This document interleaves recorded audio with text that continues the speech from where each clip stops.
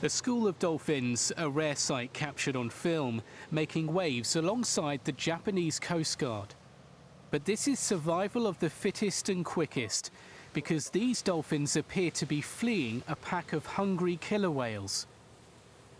This video was taken at sea off Nagasaki Prefecture and shows the daily life or death struggle to escape.